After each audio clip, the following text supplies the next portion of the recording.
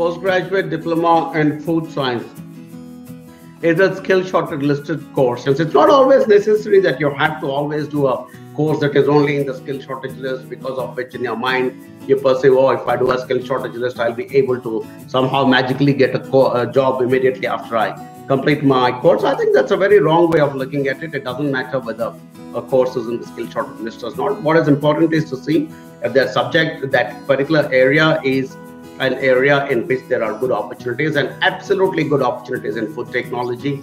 Practically every student of ours or every client of, ours who has come with this particular uh, requirement has done very, very well. Uh, and uh, most of them are going on to get their residency as well.